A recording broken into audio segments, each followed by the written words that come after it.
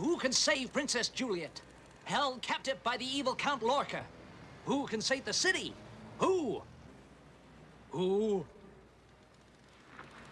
This is a job for Condor Man!